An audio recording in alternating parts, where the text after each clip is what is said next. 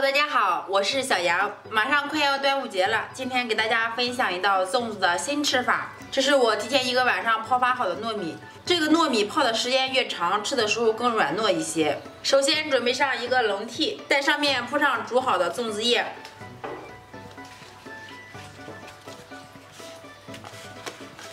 然后再把控干水分的糯米倒入里面。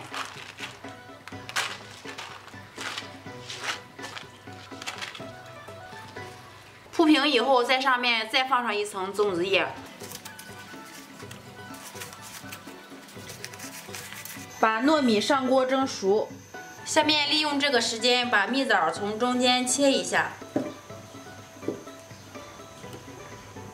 糯米蒸了有四十多分钟，差不多了已经，看一下，嗯，还不错，取出来。这个糯米蒸的好香啊，浓浓的粽叶味儿。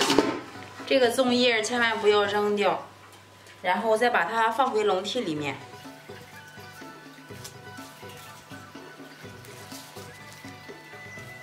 在蒸好的糯米里面加入一碗的清水，稀释一下。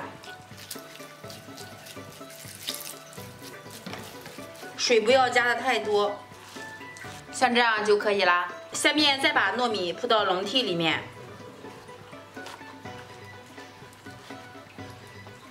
涂抹平以后，把切好的蜜枣摆在上面，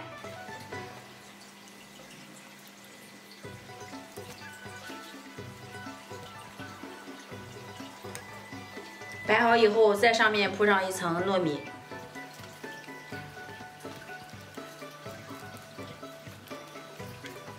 再铺上一层蜜枣。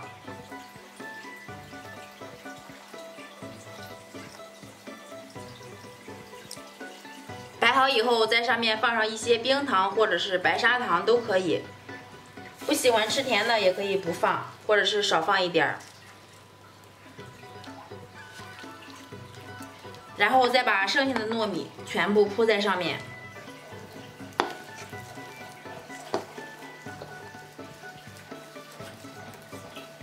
这样就可以啦。再铺上一层粽子叶。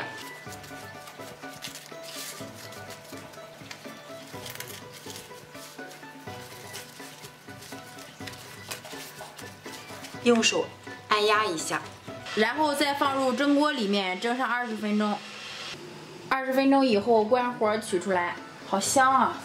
把上面这一层粽叶取下来，直接倒扣在案板上面，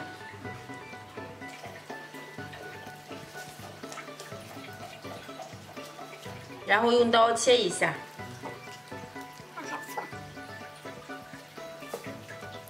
粽子这样做简单好吃又过瘾，喜欢的朋友赶紧尝试一下吧。好啦，今天的视频就分享到这里啦。喜欢小杨的视频，敬请转发、关注、评论，非常感谢大家的观看，我们下期再见。